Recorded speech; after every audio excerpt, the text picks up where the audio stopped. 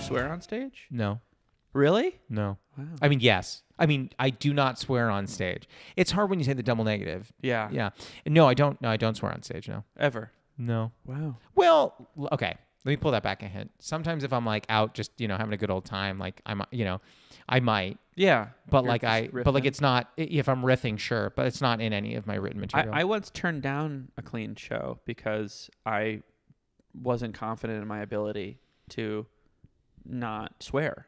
Interesting. Also, I talk. I I used to do a bit about like peeing sitting down and like blah blah blah. you know that would still be clean, right? I didn't know. I didn't know the way they introduced the show to me. The way they, I, I, I reached out and I was like, I'd love to do the show, and then, and then they were like, it's a clean show, uh, I think for families, and I was like, I don't know, you know, if that's where does the line end, begin and end. I- so I, I said no. I was like, I don't really want to put myself in an uncomfortable situation. I imagine there's like a like a nine year old in the crowd that goes, "He talked about peeing sitting down. I'm leaving." Well, they, you know, yeah. In retrospect, I probably should have just done the show, but I don't know. They had it was kind of like it was it, it was intense the way that they spoke about it. Interesting. Yeah. I don't know if I'm intense about anything.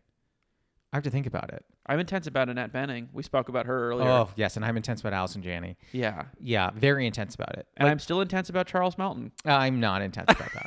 I, yeah, I mean, like, yeah, it was a fine performance. I thought May December. I really appreciated what they were going for. It wasn't for me. My favorite part of the movie was not your favorite part of the movie. What was movie. your favorite part of the movie? Uh, the the Natalie Portman monologue when she is to the camera, like doing she's pr- doing the monologue Oh, sure. as the actress. yeah, yeah.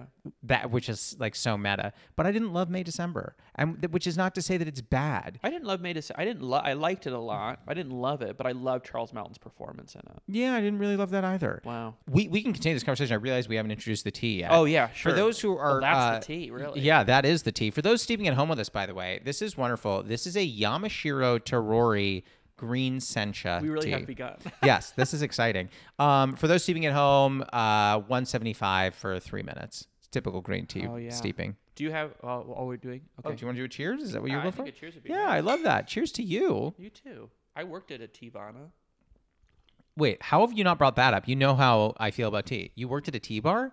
Uh, Teavana is not a tea. Oh, Teavana, Teavana. Yeah, I worked There's nothing wrong with Teavana. I, I don't. It was fine. I Oh, worked there you for didn't like like six it. months. What'd you do was- there? I stood outside and gave samples. Here's my challenge with that. Yeah. So I, I, ca- I, Young. have you ever cater waitered? No. Okay, so I have. My biggest challenge with cater waitering was that I, and I'm sure everyone's gonna know where this is going. I was a nibbler, and um, Uh-huh. so if you're passing things out before I would hit the door, sample the goods, and uh, wow, really? Oh, for sure. Not like sample. I would eat like you know, it's it's a past hors d'oeuvres. It's not like I'm like eating like other people's food. You did the thing where you like walked around at an event with a tray of food? Correct. Wow. Now, before I go out, let's say, for example, I was handing out little crab rangoons, right? Yeah. Your boy's got to have a couple of rangoons before he hits the floor. So I would like take one or two, and then I have another tray. I'd be like, oh, I didn't get to try the ahi tuna. Let me, whoop, you know, Yeah. and then I'm just, and, and at, at a certain point, it's like, how much food am I consuming, and how bad of a sampler person am I that my sole focus is to either eat all the food myself, Yeah. or get it out, like get it out the door. Like I knew what what people would eat a ton, and I would go directly to them.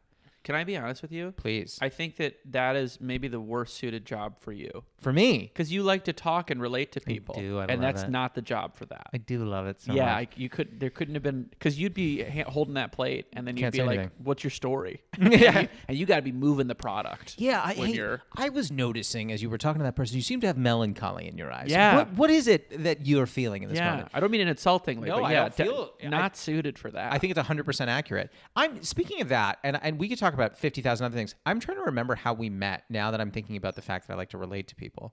Did someone facilitate an intro here? no, I don't know how we met actually. Probably they had a comedy show, No, I've no doubt. But like, and we some- probably just were like just nice energies. yeah, That's like how I met Neil. I love Neil. Yeah, Neil, former former guest of the pod. he's been on the podcast. Yeah, Fun. his uh, he had a hot take about Godzilla movies. I mean, it was just real interesting. Neil's got stuff. great takes. Neil, I, I call him Great Take Ghosh. Do you really? I don't, but I should. Okay. I don't want to lie to you. I have a plant in my house Called that The I- Ghost Tree. No, it's I I bought it when Neil moved to New York. We went to a plant store together, Love it. and like his like last week in LA, and I bought a plant and I named it Young Neil, based off of Scott Pilgrim, but also Neil. So it's Young N E E L, and that plant has beaten the odds. Is It's that because you have a brown thumb versus a green one? No, I love plants. I have lots of plants, but this was like an early in my plant story, Mm. and uh, it it it even to this day looks relatively sickly, but persists. I think that Neil should come up with a short film where instead of a ghost story, it's a ghost story. and it's like a little horror movie that Neil makes. Like a Guillermo del Toro thing. Sure. I could have like a sampler. Yeah, but then you would need like all these little creature features in your Guillermo movies. You could do it. Neil could do it. I love Neil. Have you seen his band? He's got like a I've heard his music. He, He sent could- me his music, his thesis for his master's. yeah. He did. I Neil could do a creature feature musical thing. I'm I'm, a big. I it listen. If I'll there be the are- creature. If there's a million Neil Ghosh fans in the world, I'm one of them. Yeah. If there's one in the world, it's me. If there are none, I'm dead. Oh, oh. Uh, yeah. Okay, Can I tell you the if there's many, I'm one. If there's one, it's me. I I think you said that to me once about something else, and it stuck with me. Really? Yeah, but um, no, I don't remember how we met. But Oh, I- yeah, that's I, it. I but I would go back to the fact that I just like remember being friends with you. Yeah. And then what what is interesting about you is that I think that you have a greater. Um, I think I'm very driven. I consider myself a very driven individual, a passionate, driven individual. And every time I'm like, man, I'm hustling, and then you'll tell me some story where you'll be like, yeah, and then I like. You know, ended up, uh, they were like, yeah, like this person um, might be like really helpful in your journey. All you need to do is like, you know, paint a fence for 10 hours and, you know, scale a building. And then you'll be telling me the story. You'll be like, so I, had, after I'd scaled the building, I'm like, Yeah. what the fuck? And then I'll be like, what did I do yesterday? Well, I wrote an email. Well, so, I mean, I've only scaled a building one time. Yeah. Okay. One time, So, one time. Yeah. it's you're Spider Man. Yeah. Uh, I don't know if that's your favorite superhero, but um, It's not, but I like Spider Man. I like Spider Man. I don't know why. I I, I thought You got about just upset saying just now, yes yeah. for the sake of conversation. lie. I like Spider Man, but it's not my fave. I would say Spider Man and Batman are my people. Green Lantern. It's my fave. Interesting. Interesting. Yeah. The ring does the thing. I have a ring. Do I have- you? I have a silver Green Lantern ring with Does my it work? birthstone. Does not. I didn't think so. I think I liked um, Batman so much because he really had no discernible skills, and that is He's just wealthy. Yeah. He's smart. Batman's super smart. People don't really talk smart about and that wealthy. enough. Yeah. But I think like that's why I liked him so much. A lot of people are like, oh, I love Superman. I'm like, oh, you love the person who has everything. Yeah. Oh, good for you. That must be really hard to love someone who literally has everything. Except for, you know, his parents. That's true. That's his thing. Listen, listen. As someone who doesn't have his own father, I don't feel like I, you know, I'm not coming out and leading with that. Sure. I'm not like, hey, by the way, guys, I'm going to be a comic tonight. I'm Josh. Lost my dad. Feel for me. well, Batman doesn't say like I feel like every time he's, mom and dad. Yeah, he's like my mom and dad died. you know, he's like the Joker killed them in were- in some areas, and then in other versions of the story, it wasn't the Joker. You yeah, know, yeah. I don't understand it. He's to me, session away. Yeah, like he, the, his story always changes. It's not like sometimes I'm like, oh, my dad died by a car accident. It's always pancreatic cancer over here. So I'm always just like, Yeah. it's the same one. But what's weird is pancreatic cancer dressed as the Joker, and I thought that was hot. Jesus Christ. too too much? No, no. Just right? Your story to tell. yeah, yeah. Listen, here's all. Here's what I will say. I, I, I think, and then hope I'm right.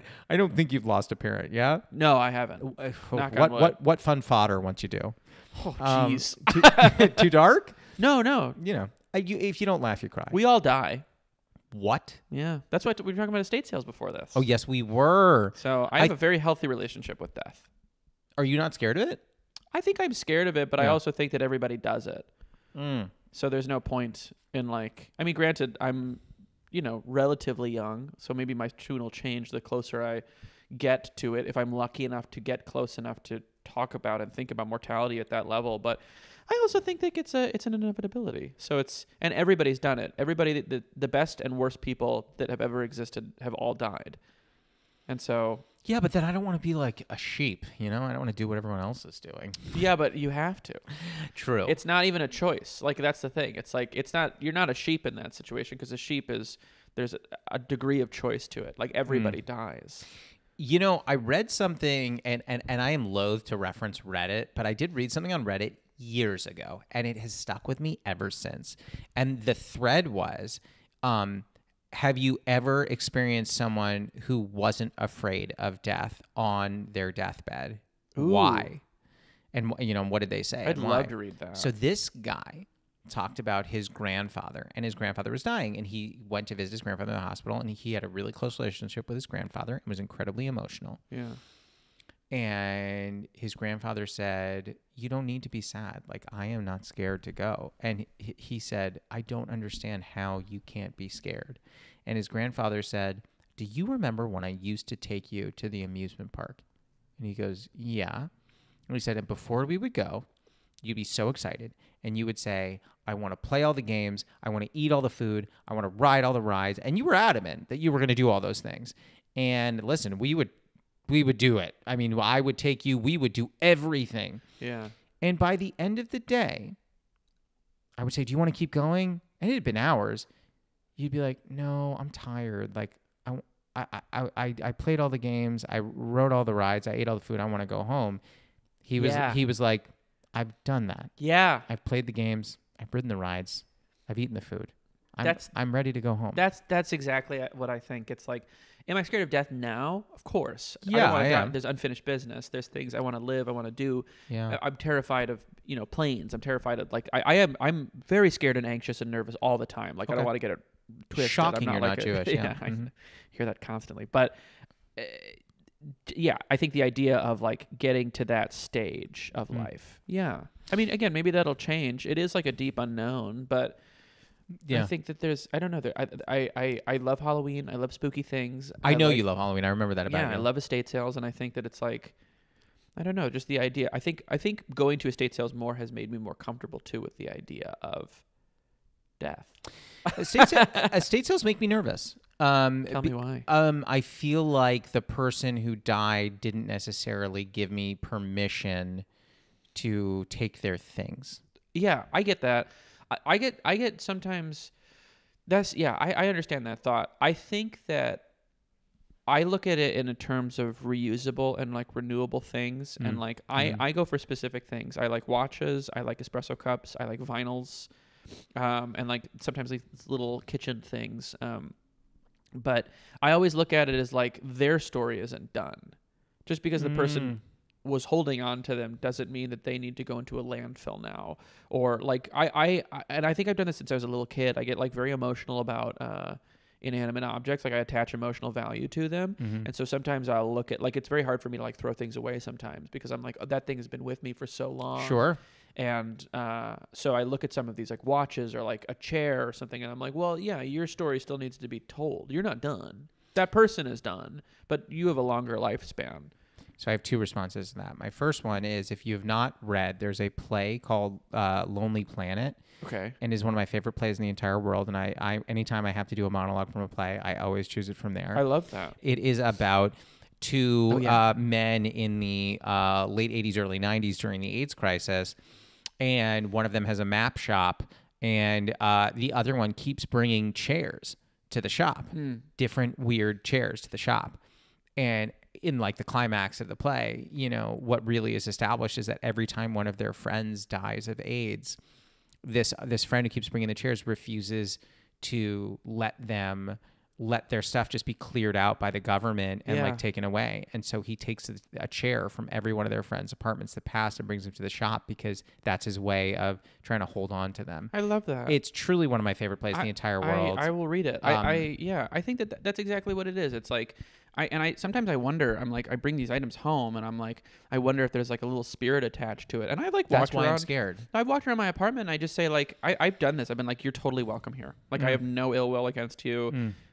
All good. Mm. Uh, if there is a supernatural thing, like Mm. that's totally fine. Because I think it's like if they were once part of this like physical. I sound so woo woo right now, but like I really I But I- we're in LA. I mean, but fair. it's I just think it's like I don't know. I like the paranormal and I like ghosts and I and I think that all that stuff is super interesting and and there's too much of it just to simply be ignored. I think.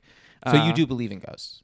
Yeah, to a degree, I think. I Okay. think I do. Okay. I'm not like I'm not one of those. Although I love people that don't believe because I feel like that's more likely. Like I go on ghost tours. I like haunted things. Like I, I just think that that's, you know, there's still if if that is real, there's still a degree of humanity. Uh, I hope, and like I would rather not. It's probably really scary to be a ghost, and there's probably a lot of existential questions that you're dealing with. So you're probably not in the best mood.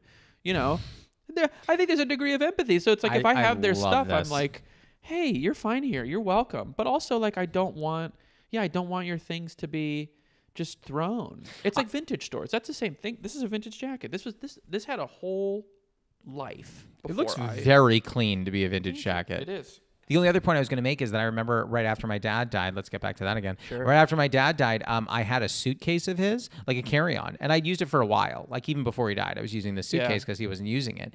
And um, I'm not exaggerating. Maybe a month after he passed, the zipper broke, and it like broke bad. And I uh, brought it to a suitcase place, and I was like, "Can you fix this?" And he looks at it and he goes, "No." And I was like, "What do you mean?" He goes, "This zipper is too far gone. You're gonna have to replace the entire zipper. And if you do that, I'm not I'm not exaggerating when I tell you it's gonna be more expensive than this piece of luggage. I would not recommend it. If you're thinking in car terms, this is totaled."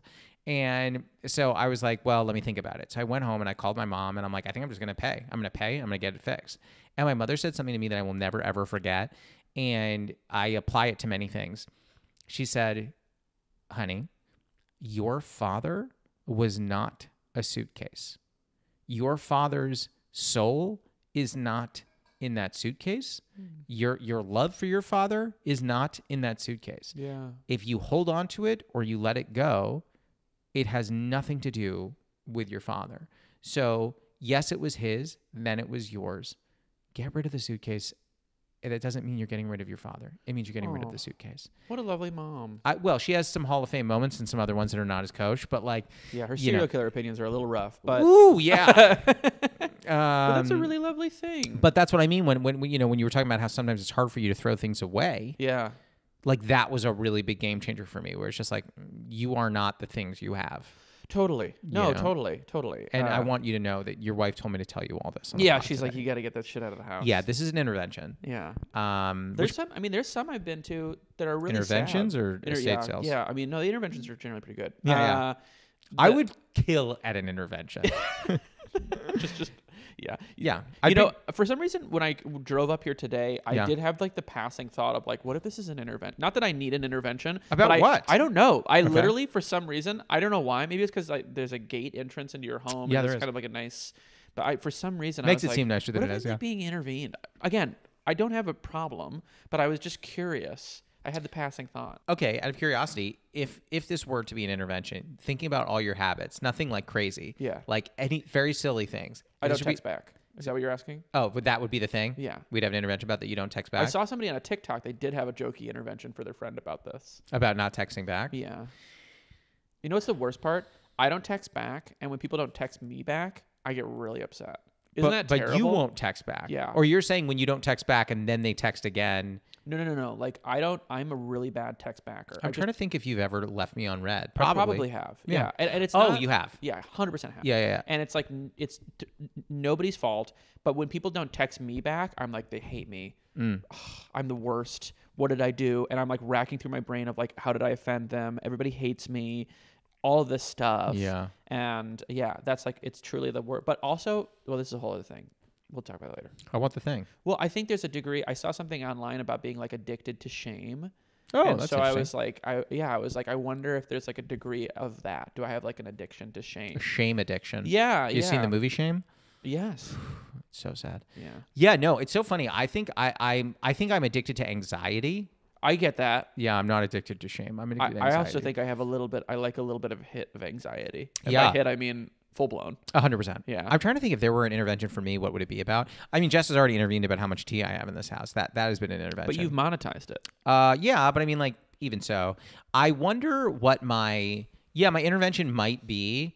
It might be texting also. Yeah. Yeah, You have left me on read too. yeah, and that well, that was purposeful. But I a lot of other people. Um, no, I, I, I. Here's the thing. I view my life. Have you ever worked in a restaurant? No.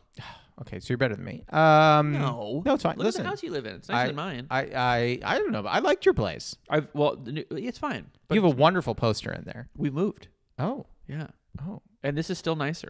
did you did you get rid of the poster? no, I haven't. Oh. But it's a baby. For those that are listening, I so so okay. is tough to display. Yeah, this is a little tough. This is a little tough. So okay, um, this is tough. This okay, is pre for the record. this is pre. So so I we had a conversation once about how you loved uh, an illustrator named Mondo, I believe. Uh, not it's a company. Company. Yeah.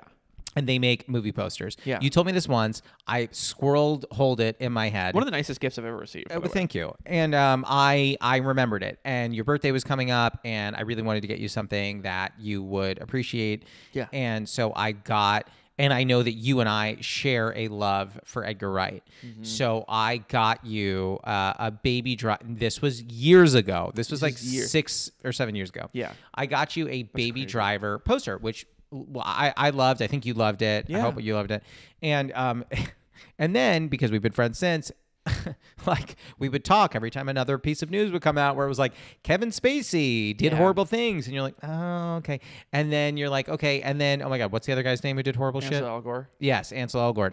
And then it was like Ansel Elgort was like texting with minors, and you're like, oh god. And then you're just like watching different cast members of Baby Driver just like knocked not- down one by one. It was it was there was a point where that post. So I have that poster. It's behind some posters now in a frame. Probably. I, I cycle through. I still think Baby Driver is a good movie, and that's a whole other thing. But I, I think it's a great movie. it's a great movie, and like and Yeah. like art artist, a whole conversation. But like Yeah, I think Seven's a great movie too. Sure. know? Yeah. I mean, Kevin Spacey's oh boy, a good actor, a bad person.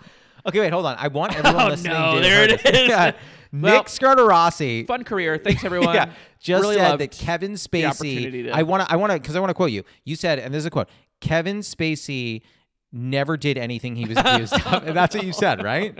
I want to make sure I'm getting No, this right. Kevin Spacey is trash. He is scum. He's a scum. He's a bad person. Give us the but. He's a good actor. Oh, he is a good So, actor. Okay. so like we can't retroactively say that Baby Driver. You can say that Baby Driver, uh, um, that Lily James was underwritten.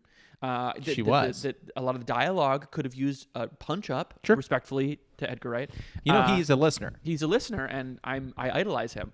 Uh, but you can say a lot of things.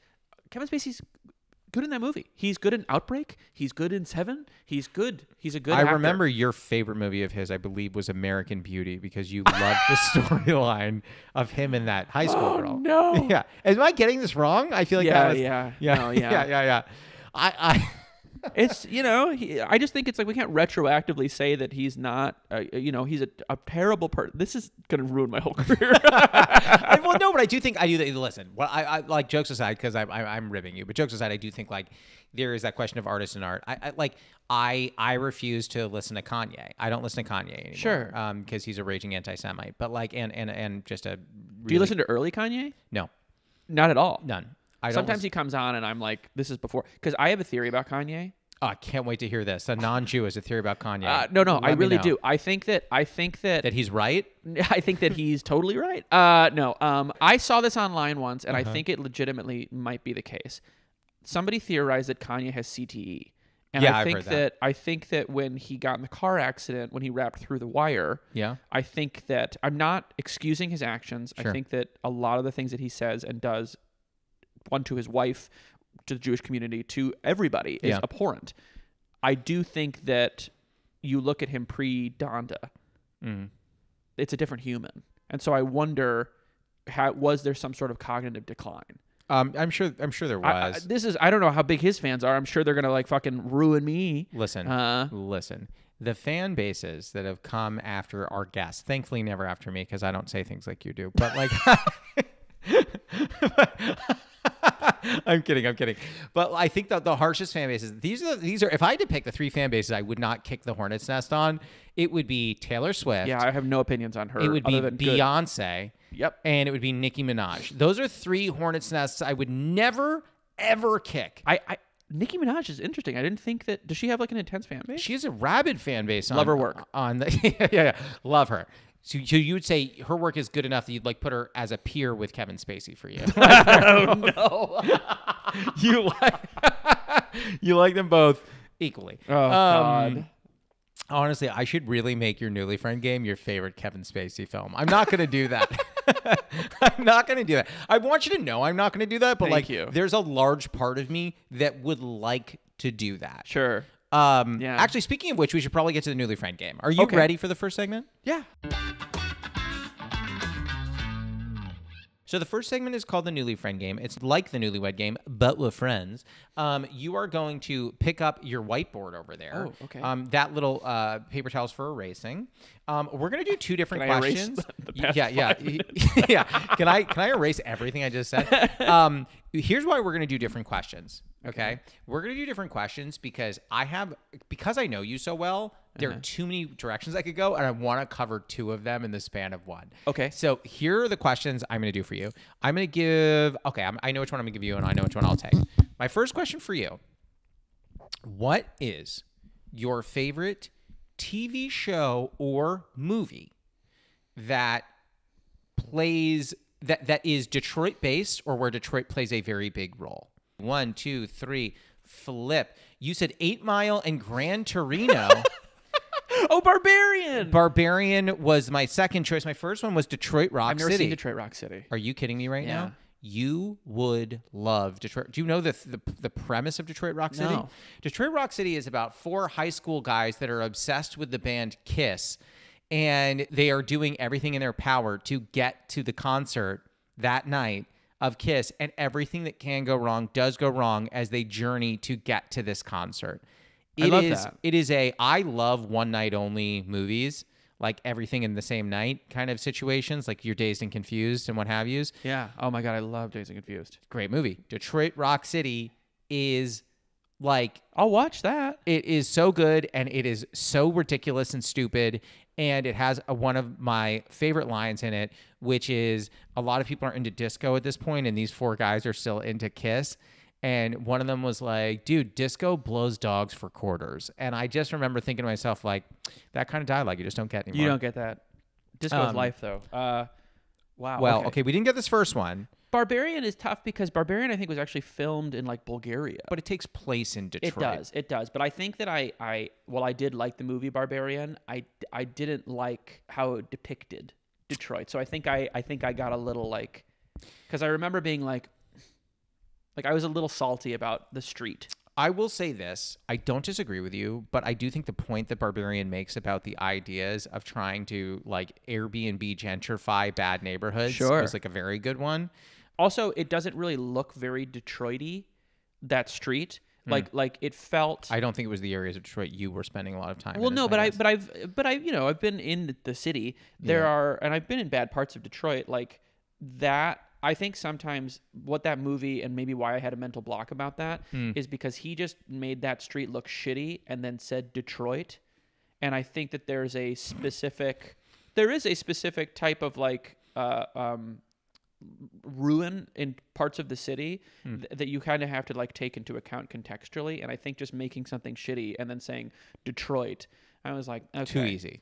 well yeah also like there's just oh god there's like oh it follows is a really good oh Is that fuck me, Detroit? that's the movie i would have written It follows is Detroit. Yeah. I did not and know that. it follows is well the director david robert mitchell is from michigan and it's in detroit and like metro detroit and it and that is a horror movie that perfectly captures metro detroit when I think about that that, director, I just think about what a potential hit that was such a big miss under the Silver Lake was. yeah Um, He made a movie called the uh, the Myth of the American Sleepover, which is a really cute indie. And when I was a co- senior in college, my friends and I filmed a feature, and we've never released it, and because it's cheeks, but uh, what is its cheeks? mean? cheeks ass? Oh, it's It ass. Cheeks. It's yeah, ass, I just like to say cheeks. Is that like a thing? Do people say that? Uh, No, oh, they Dylan should. says people say I it. love saying cheeks. Okay, my apologies. Um, Maybe but I'm we old. filmed this movie and uh and and there was another indie filming called the, the American Sleepover and I remember my my friends and I were always like, "Oh, there's another indie in Michigan filming. That one's gonna, that will never do it." That one will be cheeks. yeah, yeah. We were like, "We're the we're the one, you know, the class in these waters." And then that was David Robert Mitchell who made It Follows, which is I think maybe one of the greatest horror films in the past 20 years. I love that movie. Oh, we do not. I like that movie. But Oh, I love it's It the Follows. greatest. No. I love It Follows. Uh, Maika Monroe, Scream Queen. uh, she I thought was better in Watcher. I have not seen Watcher. Watcher was great, but I would not put that in my. I'm, I'm putting. I'm. I'm. You're crossing out. Well, we're about to erase and go to the next I don't question. care. I'm Okay. writing it follows. Okay. You're, and you're entitled to do so. Can you, you mind passing the paper towel? I'm going to erase my answer. Um, and then for my question, okay, and you're going to be like, why was this not mine? Because there are simply not enough movies for this to be a question that we could do twice. The question for me that you are to guess what I'm going to say Okay. is what is my favorite Edgar Wright film? Ooh. One, two, three. Flip. The World's End. I said Scott Pilgrim, and Dylan said fucking uh, Hot Fuzz, which is amazing. Hot Fuzz is my favorite movie of all time. Hot Fuzz. You wrote The World's End. Yeah. Well, no, this is you. My guess. Oh, you. you were guessing for me. Yeah. Hot Fuzz is great, especially because of what they did with Bad Boys and like how they did all those homages and everything. Wonderful.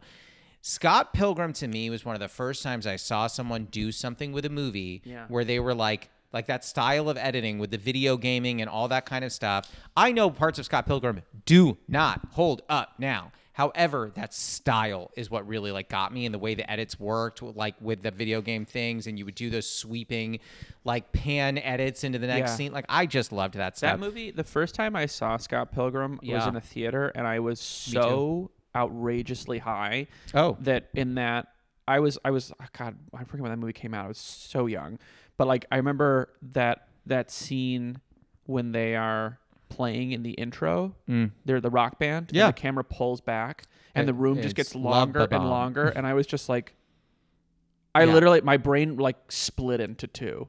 It was insane. Here's what here's I'll what's never gonna forget that moment. here's what's going to offend you and uh, the the gentleman behind the camera. Um, my favorite Cornetto trilogy movie was also not Hot Fuzz. It was Shaun of the Dead. Shaun of the Dead rules. Absolutely love it. I do love Hot Shaun Fuzz Shaun of the Dead too. changed my life. It's like one of the main reasons I want to make movies and like act and stuff like that. It's Shaun of the Dead. Oh, There's like a I remember I remember being in the movie theater yeah. when I was like I think 13, Mm. 14 Mm. and the trailer for Shaun of the Dead came on. I forget what movie my friends and I were seeing and I just it was like a chemical change. Like it was like the when he lights the bar on fire and the zombie movie and also like Simon Pegg who is like my absolute hero. Yeah, He's yeah. also like a ginge. Shaun of the Dead has a deep, deep, deep impact on on me creatively, on me aesthetically, everything. Yeah. One of the things I want to talk to you about Mm-hmm. is um, identity in comedy. I would like to talk to you about that, and I'll tell you why. I, for the longest time, was like, I cannot curse because now my identity is a clean comic. Yeah. Now, let me just kind of cut myself off right there and say, I understand how arrogant that sounds. Where I'm like, well, I have an identity in comedy, which is like so ridiculous. Uh-huh. I don't think anyone goes, "Oh, Josh Lynn's that clean comic." Wait, he he cursed? Am I tying myself to an identity because that is the identity I need to hold on to? Or am I tying myself to the identity because of some like absolutely misplaced idea that other people tie me to this identity?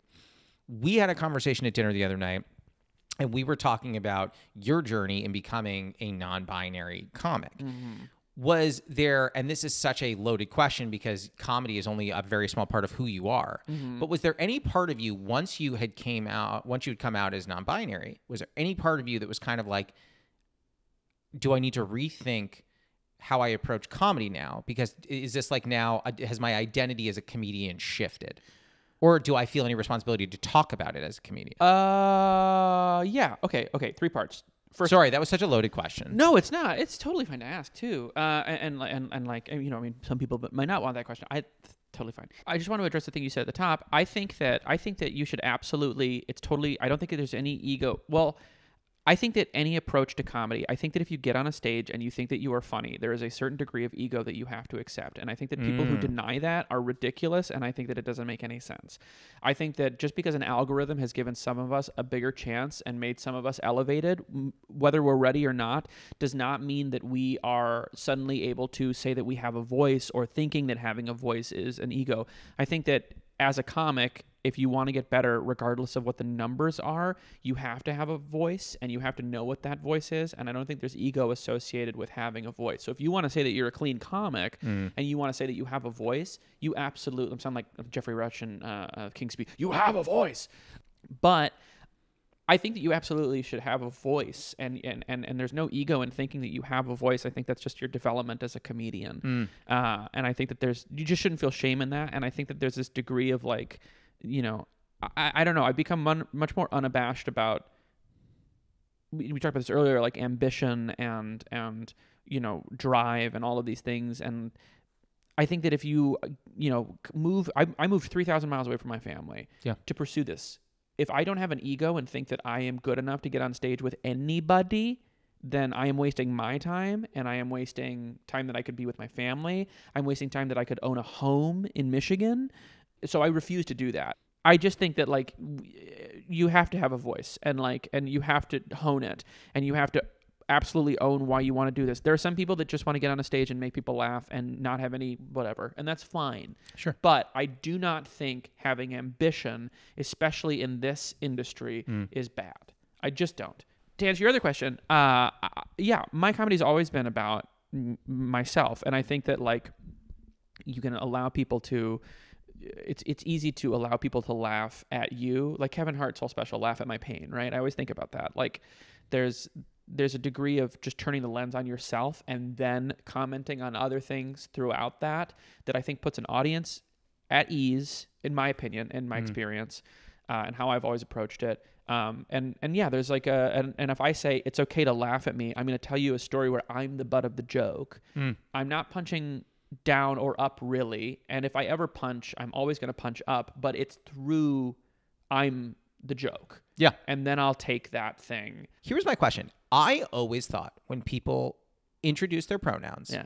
that it was, and I don't remember the the correct grammatical terms for it, but it was like like he, him, they, them, she, her. Mm-hmm. Like it was the again. I, everyone who's a grammar nut is yelling through their through their speakers right now. But it was the thing where it was like the subject one versus the object. So like the object being like a him, her, them. Subject being she, he, they.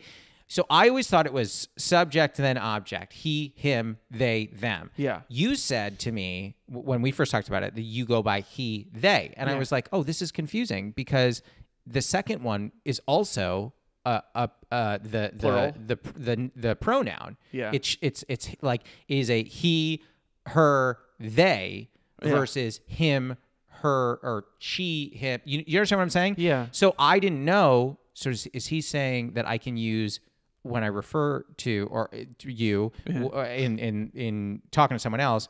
I can call you he, they, and use him and them. Yeah, yeah. That is what that. I just don't like writing he, him, his, they, them, theirs. I think it's just too long. So I just write he, they. see. So it's like a catch-all. he, they also. yeah, because if I say like, "Hi, I'm Nick," he, him, his, they, them, theirs. I'm also a pescatarian. It's like a lot. I love the pescatarian You got some airtime yeah, there. Yeah, yeah, it's like, and I have OCD. Like it's a lot of labels. Oh my god! If you went to CrossFit and you were Yeah. atheist, And oh so my this is- god, this would be the greatest moment of your life. It's truly why I don't tell people that I'm a pescatarian because I can like feel the eye roll because Uh-huh. if they, if they're like "Oh, these are my pronouns and also so like which that's a whole other question and you know the addiction to shame but yeah, yeah, love it. uh yeah so So, so really, when someone says he, they, they're saying like it is all, everything related in, to those. in my two. case yes in your case, yes. I don't know I can't Uh, yes, I'm not trying to blanket yeah because there's Um, they there's it there's all I've there's- seen. Yes, I've seen. Uh, yeah, I've seen a that. lot and yeah I just think that uh, it's a it's an evolving conversation and it's one that I do get to have on stage which is a kind of fun little privilege Yeah, it was funny the Uh, other day. I, I uh, this was a couple months ago, but like I was having a conversation with a group of guys that I don't know super well, but like friends of friends, and um, it had to be more than a few months ago because it was like it, I I- don't remember what celebrity it was. It wasn't Harry Styles. It was after that, but like there was some some male celebrity that was like wearing a dress at at some kind of event, yeah and one of them was like, "Yeah."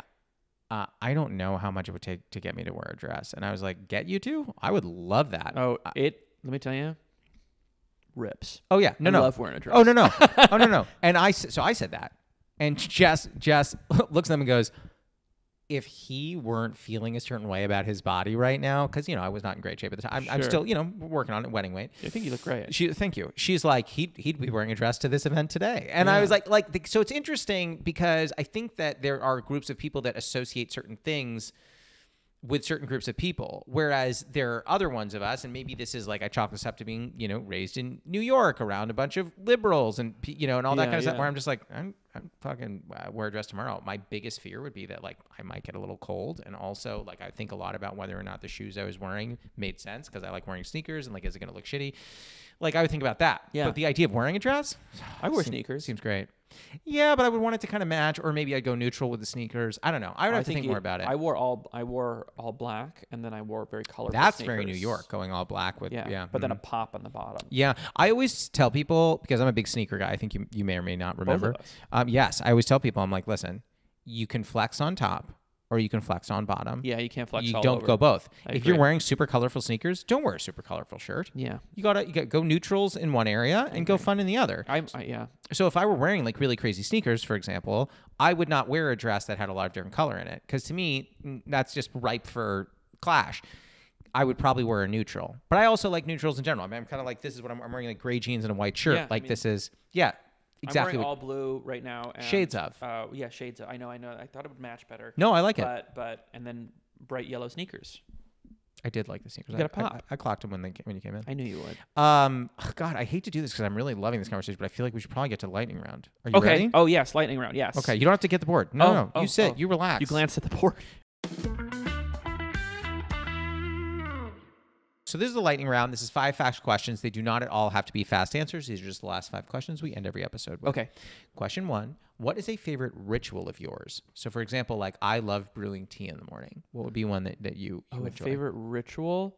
Okay, I don't do this too much anymore, but I, Mm. I but I did this all the time when I was in uh, theater school. Whenever I was in a show, um, before I went on stage, I would always walk down a hall and I would pretend to high five all my favorite actors, like like athletes going out of a tunnel. That's a great one. yeah. Um, any surprising actor or actress that would have been in that line? Will that I- Smith.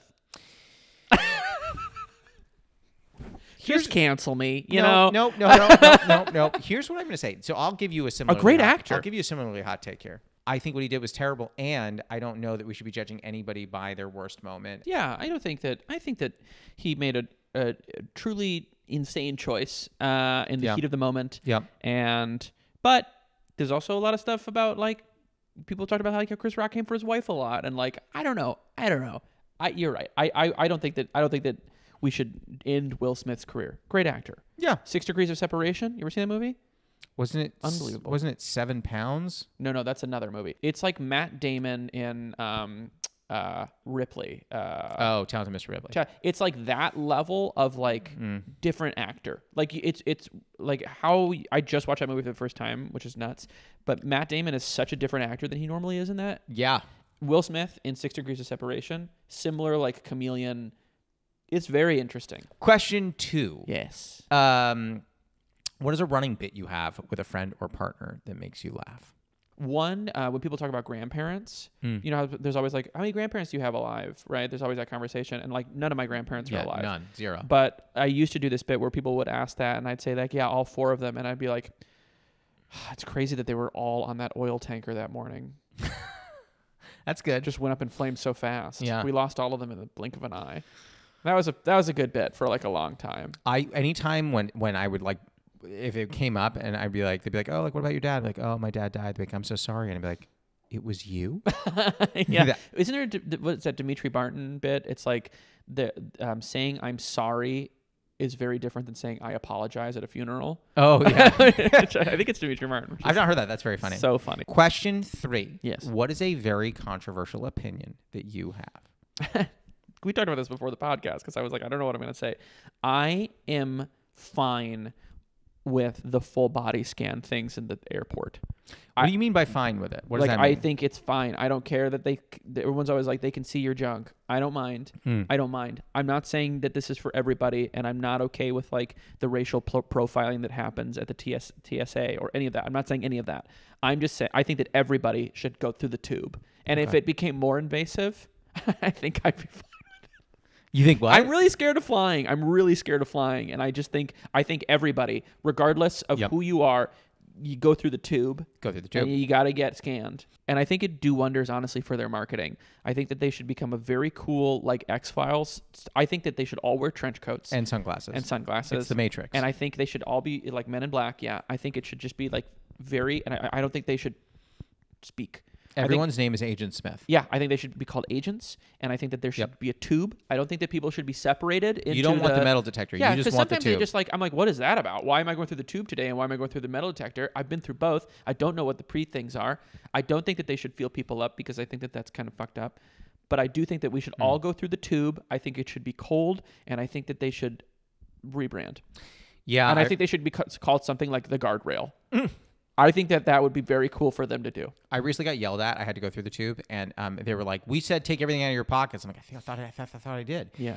I had an Altoid in my pocket, a loose Altoid. Am I proud of that? No, but I had a loose Altoid in my pocket, and they're like, "What's this?" I'm like, "A curiously strong breath mint."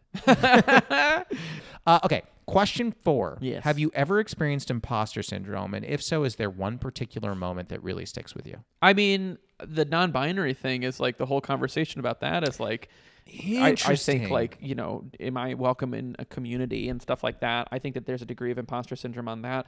I also think um, Is that going to be forever? no i don't think so. I mean it, it lessens. It, it's just like it's a journey. I mean like which is such a cliche way to refer to it but it like um imposter syndrome. I think anytime i'm on like a lineup like a huge lineup Mm, where mm. i'm like the least famous comic by like a lot I it just happened to me about three weeks ago. and I- Yeah. I, remember thinking to myself, I'm like, she must have ran out of people. And you have to like, yeah, you have to like kind of like go along with the conversation. I, ugh, I remember like I've had so many comics like be in these rooms and they're like, they're just like, yeah, like Tina Fey, she runs crazy hours in her writers' rooms, and I'm like, yeah, I'm just sitting in the room like, mm-hmm. I had one comic one time and he would look at me and he was like, I love doing movies instead of TV because movies you just have much more time on your hands. And I was like, tight. You know what's really interesting is that like I do hear this sometimes where people are like, you're killing it. And I'm not. Oh no, so so I would so I, that is I do view you in that way. Yeah, yeah, and I've had. A couple I don't think anyone views me in that way, which is great. They shouldn't. I disagree. Again, looking at this house, but I think that this house is predominantly built on the corporate job I've had while I've had comedy. but that's impressive. I don't find that to be. If you're successful at something that you don't want to do, what does that really mean? Michael Jordan at one point was like, he was the greatest basketball player that ever lived, and he was still like, I want to play baseball Yeah. because this doesn't mean anything to me. But my father always wanted me to play baseball, and if I'd be good at this, this is what matters. Just because I I was good in corporate America doesn't mean that I've accomplished anything. No, but it's something that like I just think you sell yourself short. I think you're very talented. I'm very good at being down about myself. Yes. Yeah. I think we all are. I Yeah. you are too. Yeah, Of course. Yeah, that's what we're Uh, good uh, at. Olympic level. I think that we're all kind of floundering. I think that people there are, you know, and and, and I I've tr- recently I had this year I, I branded this year as like the year of scoring goals. Mm. And I was like started this year I was like we are doing nothing but scoring goals. Like I put myself in I haven't done that yet, but I'm excited to score a goal. Well, yeah, it, neither have I. And Mm. and I put my I was like I put myself in position for years to score goals. I'm gonna score a fucking goal. Yeah. And then I had failure after failure. This has been the year of like inches away from what I've dreamed of Yeah. over and over again. And I got so down on myself and so depressed. And just recently, it reached to such a point that I finally, I think I finally have glazed over in the way that I was supposed to. Just like, yeah, okay. Well, I told, I told next. Hannah, I was like, I'm done holding funerals for my failures. It's a wonderful phrase. Did you come up with I- that? Yeah, I think. Excellent. But I, I, I was like, this that is should be the name of your next special. Funerals for my funerals failures. for my failures. Yeah. that Uh, should also be an um, emo band. but but it does. Um, but yeah, I think that that's like that. That's been a big thing for for me. Is like so. Just to say that anybody that's listening to this or thinking that I am killing it, I am not. Guys, so the uh, big announcement, if everyone is listening, I'm Nick not Skardarasy well. is not doing great. And honestly, that's actually what this intervention's Yeah, about. yeah, yeah. Yeah. But Um, but I you know that's been that's been the big thing for me. Is like I'm like I got I got keep moving tattooed on me, and like I just was like Where? You just pointed in a very nondescript arm. area. On- Okay, yeah. right here. Yeah, you're like right in my crotch. Yeah, my crotch. yeah, yeah. Um, but but but I like it, it's just sort of like a thing. It's just like I have I I know that I'm not moving home. I know that I'm not giving up.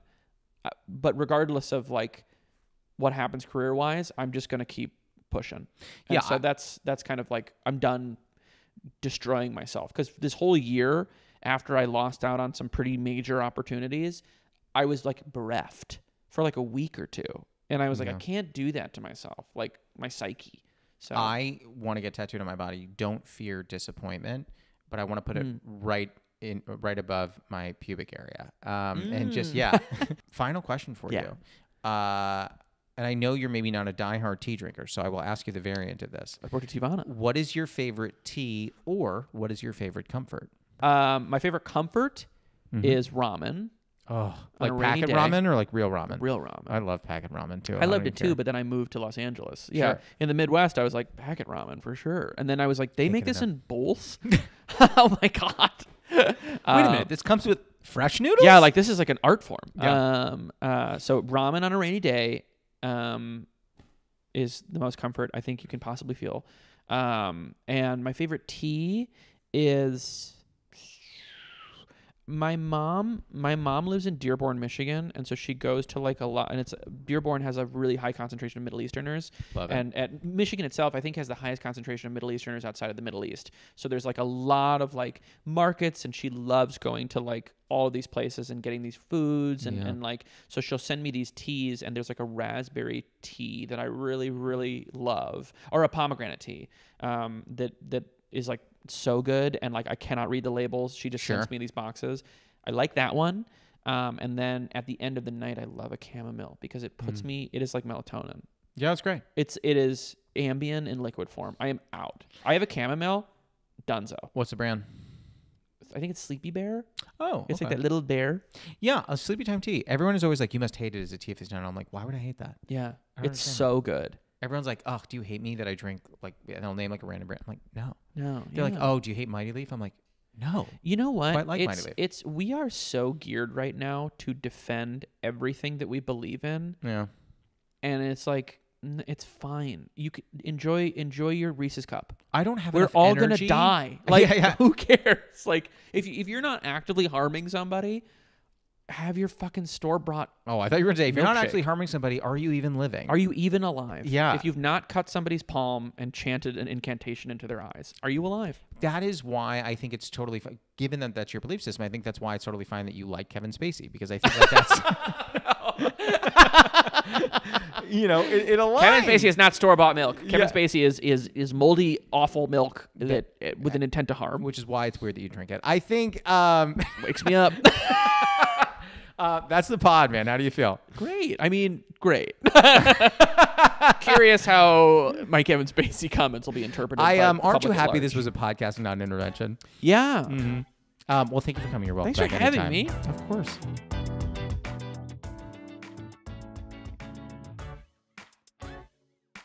That was Nick Skardarasy. You can find him on Instagram at Nick Skardarasy and on TikTok at Nick Skardarasy Real.